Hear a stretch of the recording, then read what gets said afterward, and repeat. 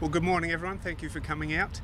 In light of the predicted extreme weather that we're seeing predicted for this weekend, the SES have, a, have issued an extreme heat warning. Given that uh, we're in the middle of Mad March now, we have the race this weekend, we have the Fringe and many of the other great events around South Australia.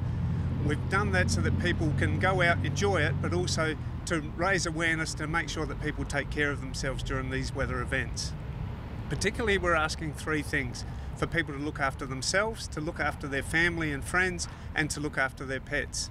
So, when we talk about themselves, we're really talking about drinking lots of water, seeking shade, being conscious of where you are. So, if you're at the race, there's a lot of concrete around, those kinds of things, you're going to be much hotter than if you're in somewhere shady like the uh, Fringe and other events as well. If you're out in the heat, try and avoid the, the direct heat as much as possible. Drink lots of water, and if you're going to drink alcohol, make sure you drink lots of water as well.